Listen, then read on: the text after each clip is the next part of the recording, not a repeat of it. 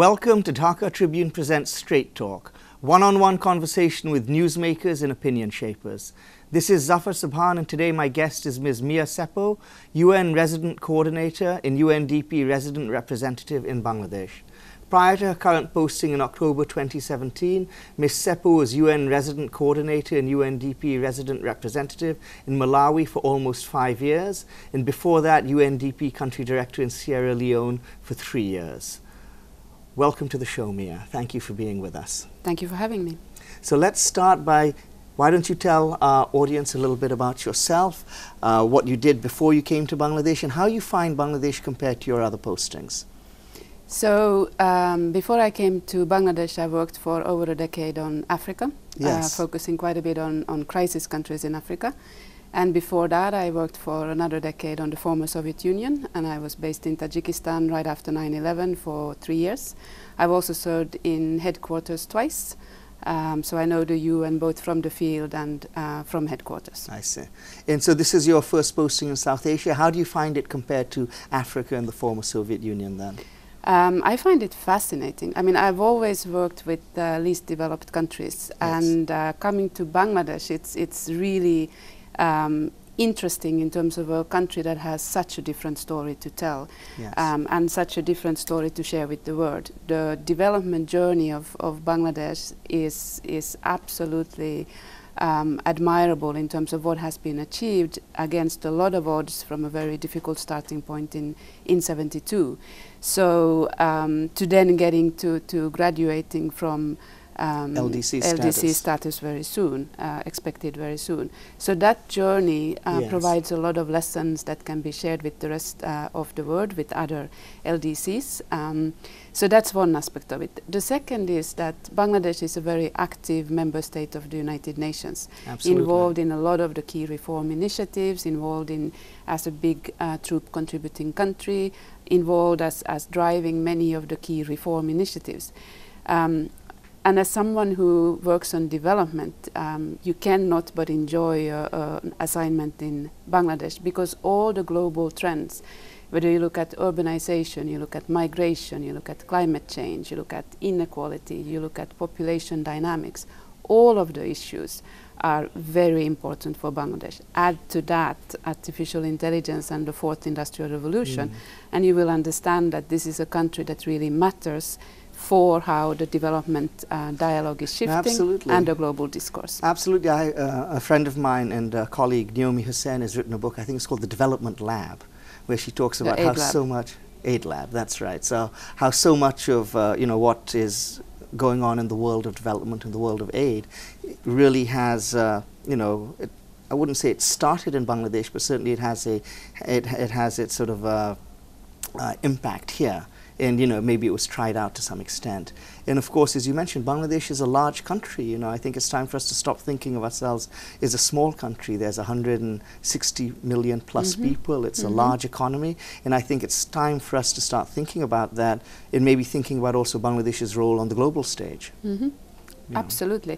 And I think there's a lot that should be done, and, and everybody has a role to play to get a different story of Bangladesh out. Yes. Uh, in, in, you know, the perceptions of Bangladesh tend to be somewhat outdated. Yes. And I think there's, there's a need for media, for government, for those of us who have the privilege of working here to help change the narrative about Bangladesh. Yeah, and you mentioned that you know aligning with the sort of the government's vision for 2020 plus. Is there any significant change or perhaps um, uh, difference which you anticipate in the coming years from the way the UN has partnered with Bangladesh in the past?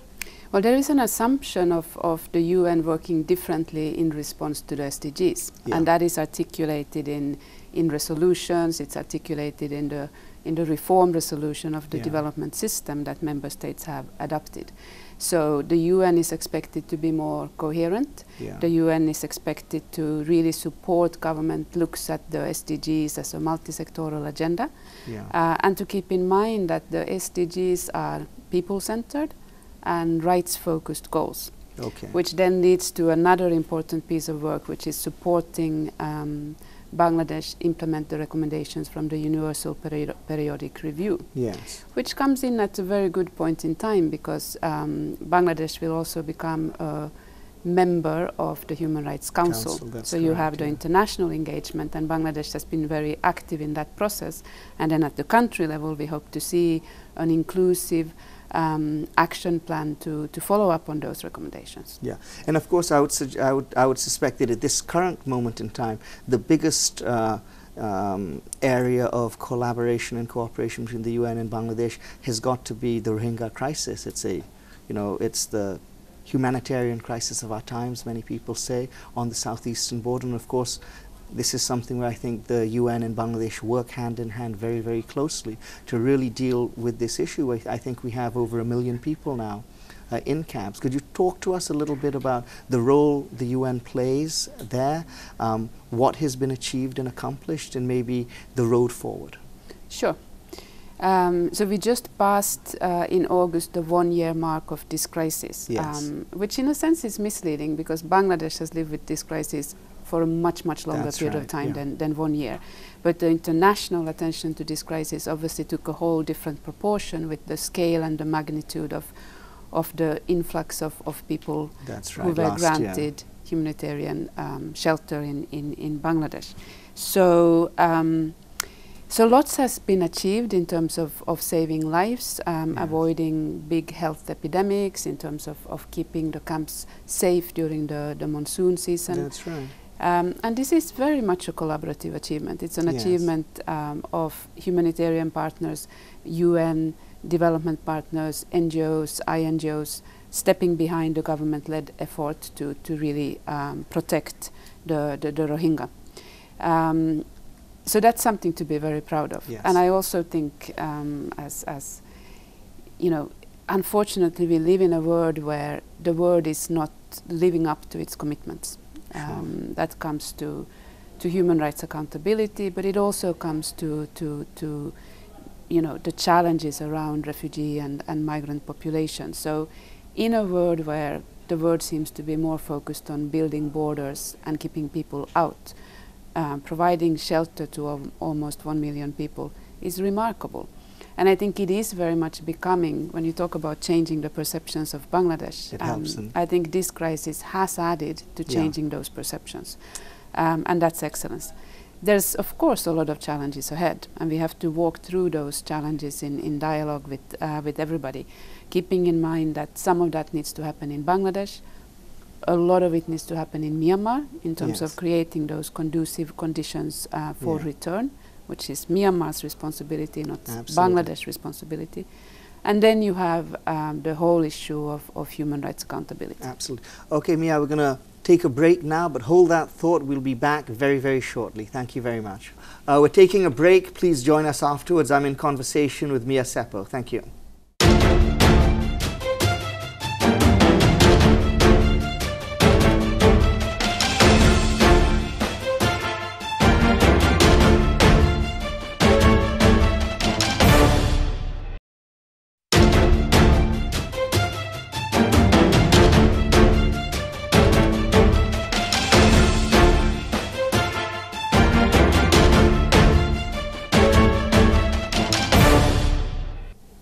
Welcome back. This is Dhaka Tribune Presents Straight Talk with Zafar Sobhan. I'm in conversation with Ms. Mia Seppo.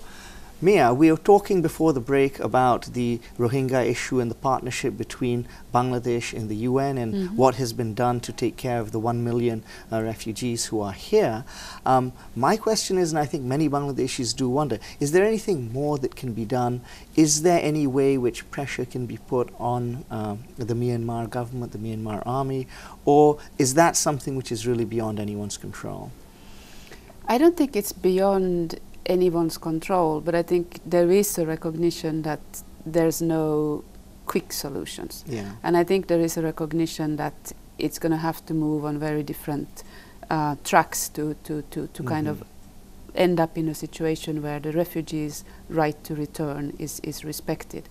So um, I think the, the, the increased engagement from the region, uh, Mahathir saying defending the indefensible, Yeah. ASEAN uh, getting engaged in the conversation yeah. is important because obviously this has already been very high on the agenda of the UN Secretary General. Mm. It has been discussed a lot in the UN Security Council.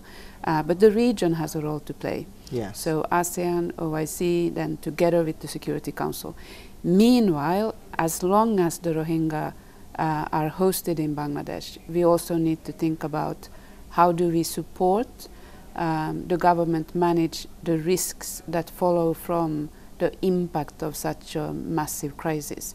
Um, and that goes to a whole range of complex issues from the environmental impact to the impact on the economy to ensuring that you have social cohesion in, in Cox's Bazar district, Yeah. to then looking at the risks around um, radicalization or criminalization. There's no appetite around the world. I mean, I know that there have been Syrian refugees, for instance, have been accepted, not of course necessarily in quite these numbers into Europe, but is there, I th- is there no appetite for other countries also taking a certain number of refugees? A million is a lot for a country like Bangladesh to absorb. Perhaps if it could be spread out a little, that would be a more feasible solution. Right. So third country resettlement is usually one of the options of solving a, a crisis like this, um, and that requires agreement both from the the refugee hosting country as well as, as the recipient country. yes. So those those discussions are On- ongoing. Ongoing, yeah. Mm. because of course like i said i mean i think anyone you know taking refugees is a big challenge for any country but i think especially for bangladesh probably by far the most densely populated country in the world Absolutely. you see there's uh, there's that and um, can pressure be placed on the uh, Myanmar government in terms of the human rights abuses? What power does the UN have, or uh, are there perhaps other international bodies such as the ICC which can perhaps put more pressure on Myanmar to um, safeguard the human rights both of the Rohingya who still remain. I think there's a couple of hundred thousand left. And I think the big issue is, of course, if people are to move back, that their human rights need to be somehow guaranteed Right. before we can expect them to feel comfortable moving back. How does one go about doing something like that? What are the appropriate um, uh, forums for, for those discussions and the appropriate institutions to place the Mm. pressure necessary? Mm. So, so there is those two tracks. I mean, there's accountability for what happened, um, Yes. and that happens through. You, you've seen the fact-finding mission report. You've seen the, the Human Rights Council resolution, the third committee resolution to set, uh, put in place a triple IM mechanism. You now have the engagement of the ICC. Mm. So that's accountability for what happened and Yeah. making sure the world lives up to the commitment of never again. You've seen Yes. Uh, references to, to, to ethnic cleansing uh, bordering genocide. Right. The genocide classification is a process that, that takes a bit of time, but there's no doubt about the fact that what happened cannot go with impunity. yes. But then you have the other track, which is addressing um, how did we get here. Uh, as, as, as the special advisor to the SG on prevention of genocide said, uh, genocide is a process. Yes. You know, so reversing the the discrimination against the Rohingya, which is legislated, systemic, which has gone Mm. on for a very long time, and implementing the recommendations of the Rakhine Advisory Commission. yeah. So, and that's then, you know, in reversing um, what has been decades of human rights abuses. Um, that also happening through changing laws uh, and starting to build trust um, among the Rohingya that they can return in safety and dignity. Uh, and they are, of course, looking, as you said, to those who are still there. What happens to the people in IDP camps in Sittwe? What happens to the Rohingya who are still in, in northern and central Rakhine? Yeah. Um, so, you know, international human rights accountability needs to go hand in hand with improving the human rights situation for those who are still there. Yeah. And what's the current situation? I think in the past, in the camps, um, you go down there very regularly. I'm sure you have a whole team down there. In that, you know, we had been concerned earlier with the monsoon season. We had been mhm. concerned whether there might be landslides happening, and of course, you know, it's an ongoing issue. How would you judge the current situation in the camps, and uh, in terms of just standard of living, in terms of, of health, in terms of nutrition, education, all of these crucial issues which really sort of need to be taken care of and, and, and thought of. Right. So when uh, the Secretary General visited the camps in July together with the World Bank President, he, Yes. he used an expression that has become, I think, my favorite expression sis- since. And this is a man who's seen a lot of refugee camps, Yeah. as you know. So he called it a, a miracle on the edge. Okay. And I think that captured it very well in terms of what has been achieved within, um, at that point in time, less than a year, is Yeah. remarkable. the risk we are all concerned about is that you know when you have a dispossessed, marginalized, and oppressed population, it is a ripe breeding ground for radicalization.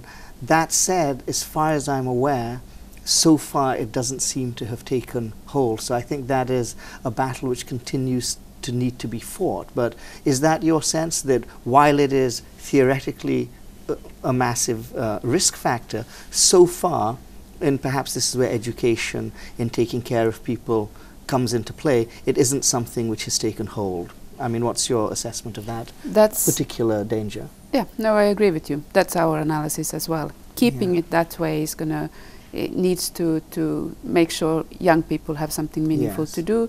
Needs to manage the risks of of um, particularly vulnerable group, women and children, Yes. and obviously needs to make sure that that people have some alternative, something to do. People can't be around doing nothing. You know, Yeah. if you do nothing, you you will find other avenues of doing things that might be less productive. So that then comes to to, to the is- risks around radicalization and criminalization, which needs to be managed. Okay, uh, on that note, we'll take a break. Uh, thank you, Mia. Please join us after the break. I'm in conversation with uh, Mia Seppo, head of the UN here in Bangladesh. Thank you.